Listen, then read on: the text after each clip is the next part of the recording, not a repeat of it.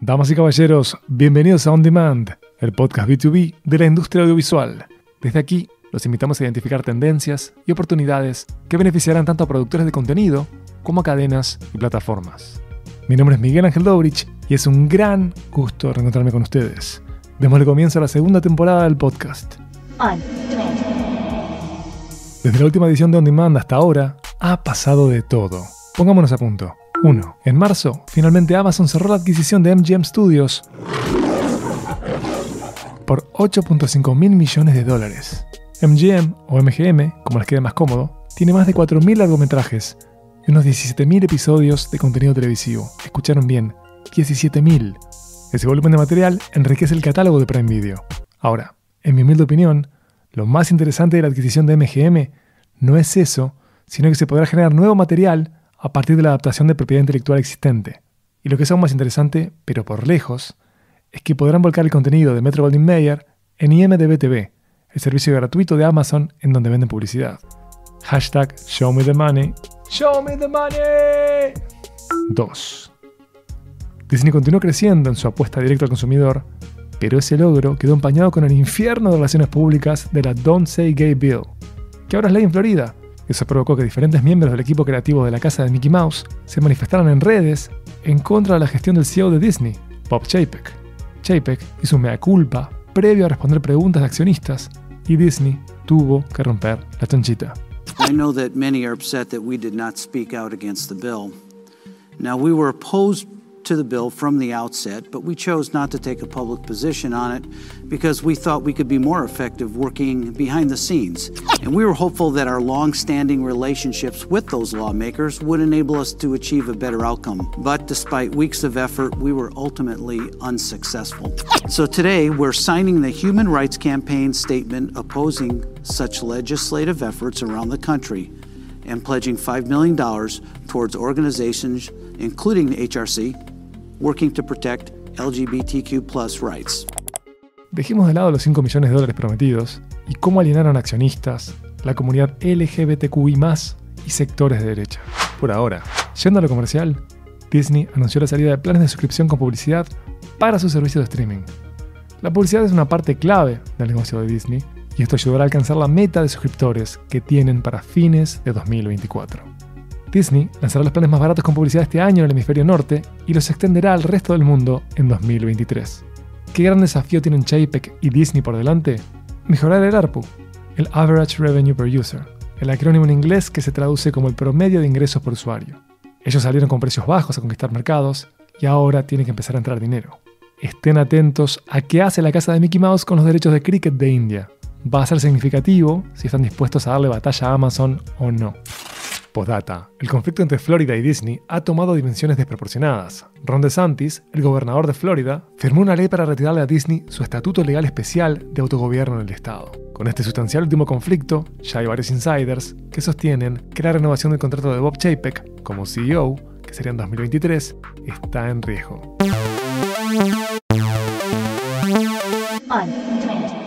3. Oscar goes to Ok, Coda.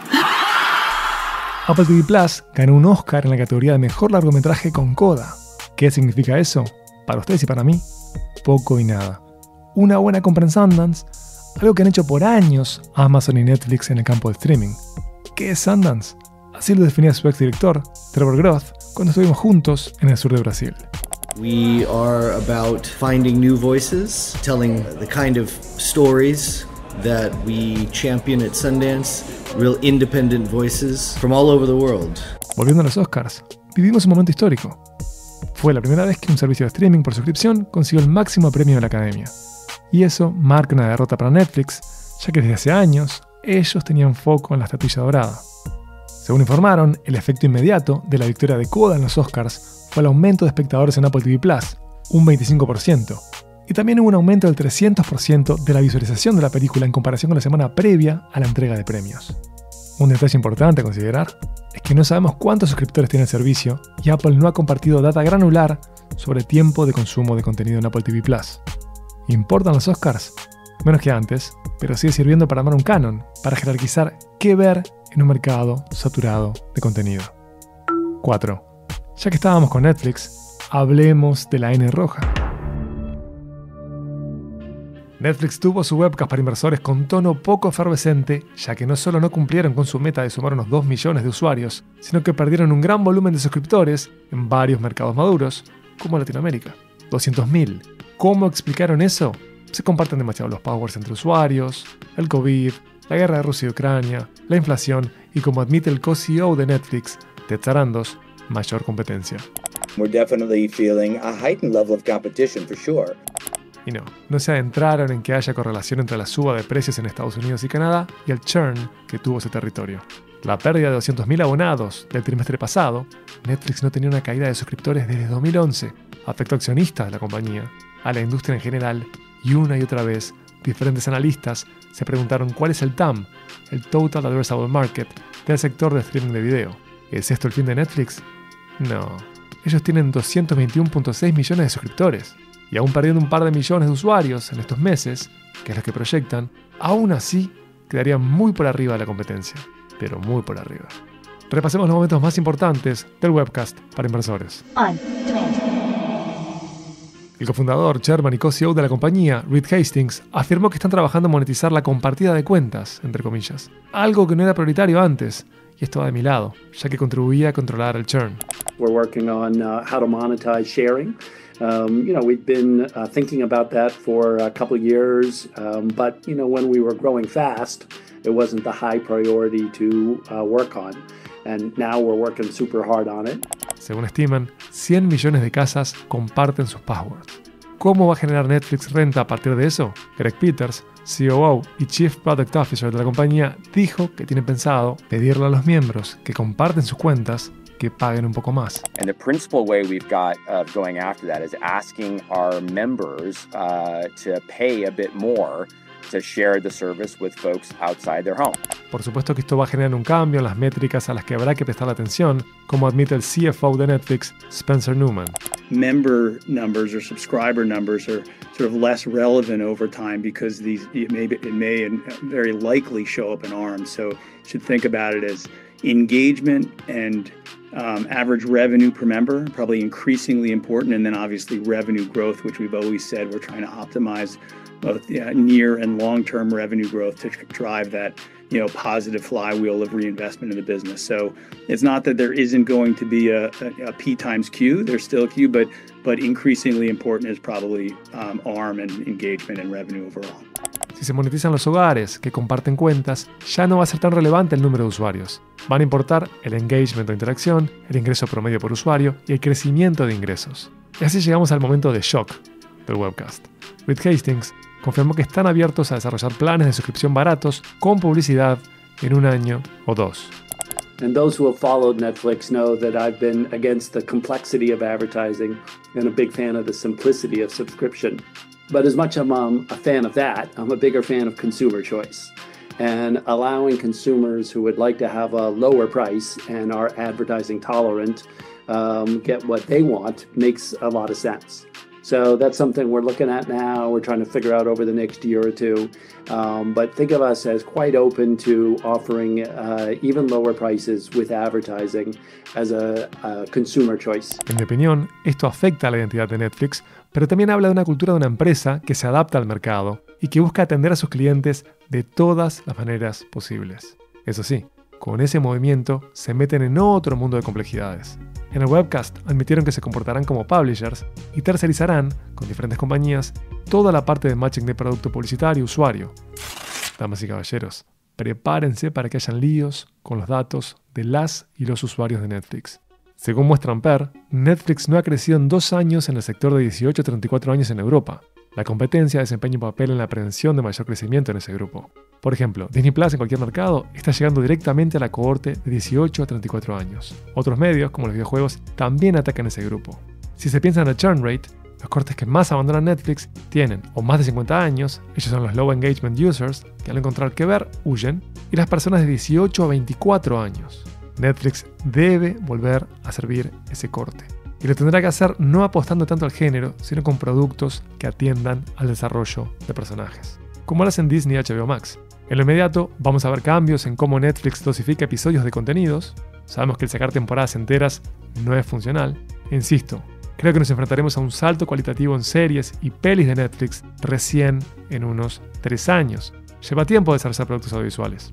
Como ellos saben, sí o sí van a tener que subir la calidad de los productos que generan. Ahora, ¿está mal que Netflix se haya concentrado en cohortes de mayor edad? Por supuesto que no. Ante las crisis económicas, estos tienen ingresos más estables. Las familias son vitales para el mercado del SVOD, del video on demand por suscripción. Siguiendo con las apuestas a mediano y largo plazo, hablemos de videojuegos mobile, el as de los próximos 10 años de Netflix.